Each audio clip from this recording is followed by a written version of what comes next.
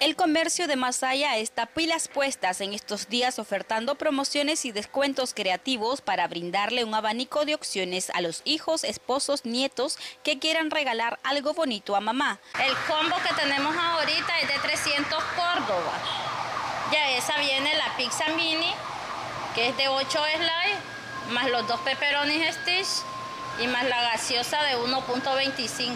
Ya con cinco meses establecidos en la calle principal del Mercado Municipal Ernesto Fernández, Pisa la Marquesa asegura que la ciudad de Las Flores cuenta con un buen comercio para hacer crecer la economía familiar. Somos de Santo Tomás Chontales, venimos a Managua a emprender venta de queso mozzarella y Ende venimos a Masaya a emprender la pizzería. Masaya, un lugar de comercio eh, la, calle muy, muy bien comercializada.